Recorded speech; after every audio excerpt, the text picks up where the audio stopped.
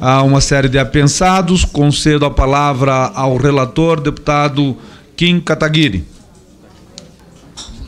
Senhor presidente, é, peço a dispensa do, da leitura do parecer e do relatório com base no artigo 57. E é um projeto bastante simples. É basicamente para estabelecer que uh, no momento em que você paga mais o imposto de renda do que você deveria e você não é restituído no prazo adequado, no prazo determinado pela própria administração, você seja ressarcido não só daquilo que você pagou a mais, mas também com multa, com juros e correção monetária. Afinal de contas, quando qualquer particular atrasa o seu pagamento, quando qualquer pessoa se endivida e atrasa, e atrasa na hora de pagar, ela precisa arcar com as consequências disso e o poder público também deve ser tratado da mesma maneira. É uma parcela ínfima do que é pago a maior é, atrasado, né, do que é ressarcido daquilo que foi pago a maior do imposto de renda atrasado, salvo engano aí, segundo dados aí do Ministério da Economia, menos de 5% é, são os casos, mas ainda assim acredito que a partir do momento que o contribuinte é injustiçado, ele merece sim ser ressarcido é, pela deficiência do poder público.